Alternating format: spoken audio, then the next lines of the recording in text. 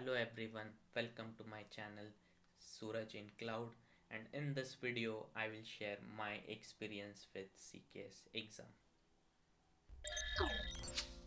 First thing first, uh, I would like to share that uh, as I applied for the exam, I have also cleared this exam with flying colors. So for those who don't know what is CKS, so CKS is basically Certified Kubernetes Security Specialist. This exam is conducted by CNCF. So what is the main requirement for this exam? So CKA, which is Certified Kubernetes Administrator. What does that mean? That means if you don't have valid CKA or if you don't have CKA certification you can't apply for this exam. So in my case my CKA was expiring in the month of October. So I decided to go for CKS before it expires. So that's all good. Let's have a look at the syllabus which is there so there are main domains which are listed here such as cluster setup, cluster hardening, system hardening, minimize microservice vulnerability, supply chain security, monitoring logging and runtime security. As we can see last three topics have weightage of 20% and this topics moreover uh, revolves around the security aspect of Kubernetes. For example, upgrades of Kubernetes cluster or maybe finding some vulnerabilities in container images, security around runtime or maybe the OS level as well. How's the exam? So exam is basically race against time. It's the two hour exam with 16 questions and each each question has almost a new cluster for it.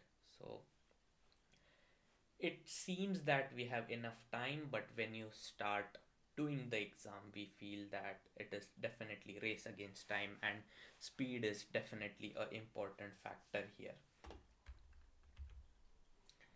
Now that we know that what is the syllabus and how the exam looks like and what are the requirements and if you are ready for it the first rule of exam club is book the exam whether it is one week later, one month later, two month later, no matter what, book the exam. Without goal, uh, it's hard to start the prep. And once you book the exam, we have to start the study ag study as well. So that's second rule of exam club. Without study, no guarantee of passing the exam. so you can plan your study time uh, maybe like one week one hour a day, two hour a day, maybe a weekend or something, up to you. So as you started studying for the exam, you have booked the exam, you have started studying for the exam. The one repo which I found really, really helpful is the CKS repo by Walid Shaari. It is very helpful repo with all the required links which covers almost all the topics. And in this exam the interesting thing is it has some tools which are developed outside kubernetes org. Like for example kubebench for cis benchmark or like Trivy or Clair to scan the container images. So this repo has required all the required links in it. So this is like one place to have all the required study links which i found really really good so once you go through this repo try out various things have a read. I found this udemy course to be really really good.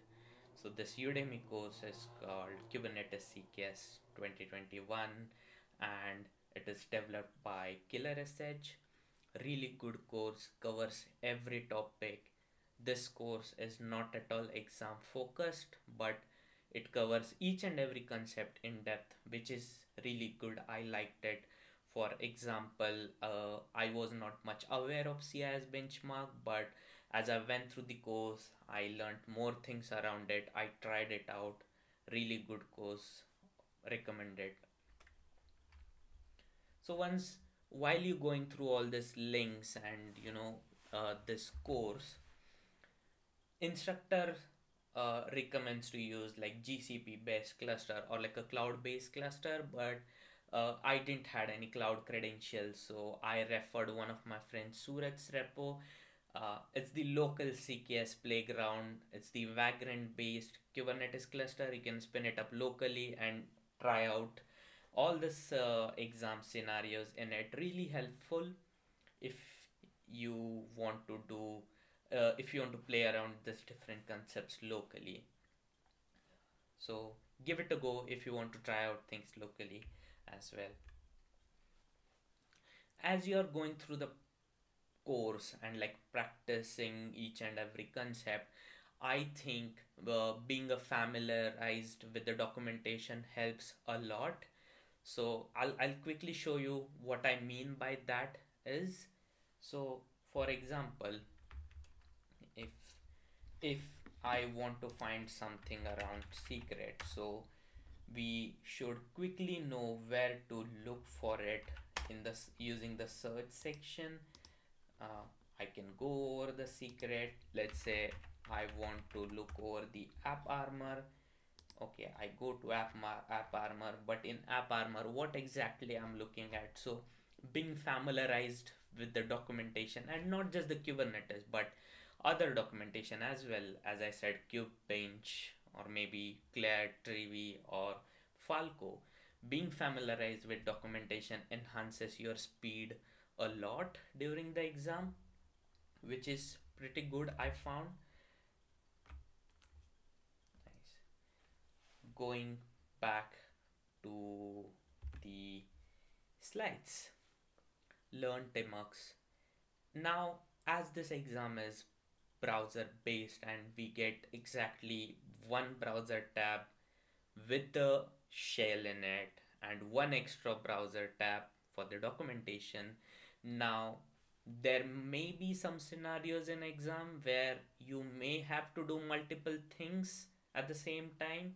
So you might need two different sessions. So how we can do that the simpler thing would be learning tmux Learn, having a knowledge of tmux helped me a lot in also the cka exam and also the cks exam where i can just split the whatever shell i have given in the two different panes and like work around different commands or maybe in one pane i'm SSH, i'm doing ssh into the box and on other pane i'm running kubectl commands to try out whatever I'm trying in that particular question. So having in Tmux knowledge is very, very important.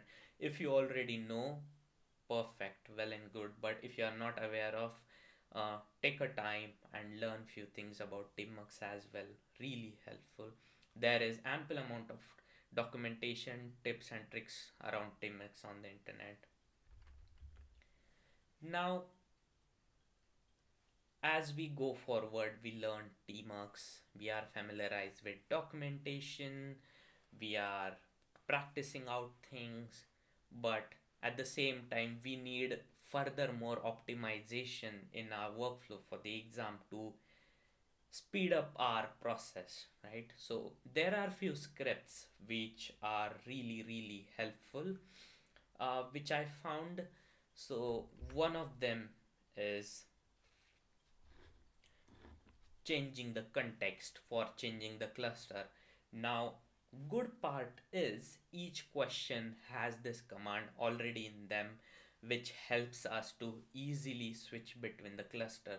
Now, I would say in the exam, instead of running those commands, I would say just copy paste the command and switch the cluster. It saves time a lot. Now, next is about changing the namespace. Now, what I did when I started for the exam, I put first 5 minutes, I open up my bash RC, I added this function. It's a, it is very simple function, but I just have to do change ns and the namespace name and I immediately change the namespace. Really helpful when in some question you are dealing with multiple namespace and other thing is to make sure whatever we are doing is it right or wrong uh, checking the current current namespace is really important as well. So this function so these two functions i added into the bash rc at the very first time. Now one thing to look here is this.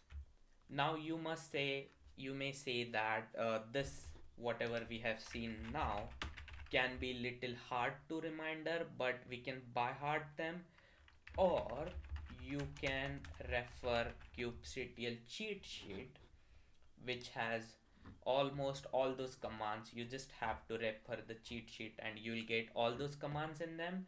For example if i search for if i search for kubectl config I'll see all the configuration related commands to change the cluster or the namespace. You can just refer this. And one very important thing is to have the auto completion and the alias. Even these things are there in the cheat sheet, so we can just refer it from them, which is really helpful. So I would say spend first five minutes on setting up the bash RC and tmux so that your next process or like next time to solve all the questions you you will get a good speed at solving those questions. Uh, it's basically a good productivity hack i would say. So as we have added all those things next thing is really really important before exam. Disable control w on your machine right so I was using Linux box for my exam and you know control W means like we have habit of using control W uh, while running shell commands. But uh, since it's a browser based exam control W means it closes your tab and it might end your exam. So it is really important to disable control W before your exam to avoid any issues with the exam closure or things like that. Now, once we have done all the preparation, right? Like we went through all the Git uh, repo by Walid Shaari, we went through all the necessary links, we went through the course, we tried it out locally, we have we learned tmux as well. We learned all the bash hacks which are helpful to fasten the process. Now i think the last test would be actually testing the water. So earlier whenever you were buying this udemy course you used to get uh, two mock tests for free in an exam simulator environment uh, designed by Killer SH, but nowadays, if you buy the exam, you will get these uh, mock test uh, exam simulator environment for free along with exam purchase. So I would say whenever you think you are ready and like uh, ready with all the preparation, I would say go for this mock test and try out your knowledge and see how much you are scoring in it and like what is the area you're lacking? So i would say go try that out. All those two uh, attempts really helpful. And even after this you let's say fail in first attempt of the exam no need to worry because when you purchase any exam which is by linux foundation you get two attempts by default. So no worries. Even if you fail in one attempt you can always opt for second attempt as well. So which is pretty good. And day before the exam just relax. Just revise through all the git repo the courses. Uh, just check your knowledge uh, check your knowledge few commands around tmux all those kubectl cheat sheet familiarize yourself and yeah it's time to relax.